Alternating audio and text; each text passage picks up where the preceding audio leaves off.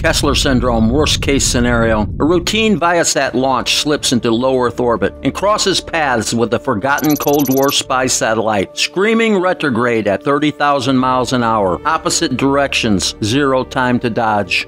When they meet, two objects become a thousand pieces, each fragment now a bullet traveling faster than any rifle round ever fired. Most satellites orbit east, retrograde ones go west. A head on collision doubles the closing speed, the orbital version of a 60,000 mile an hour car crash. One smash spawns 10, 10 spawns 10,000. A runaway chain reaction that fills low Earth orbit with shrapnel. This is Kessler syndrome. Within hours, internet constellations blinded, Earth imaging satellites gone, the ISS a sitting duck in a shooting gallery, astronauts trapped until the storm passes, if it ever does. Down here, the lights start flickering, global comms blackouts, GPS drift, weather models blind, financial markets frozen. For the first time in 70 years, humanity is locked out of space.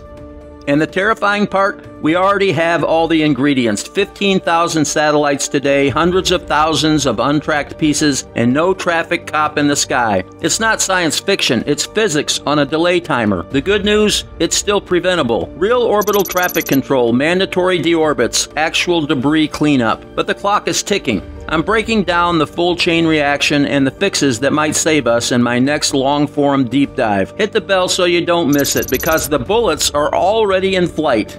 And that concludes this briefing. Follow for future transmissions. Stay sharp, stay curious. Commander Cooper, out.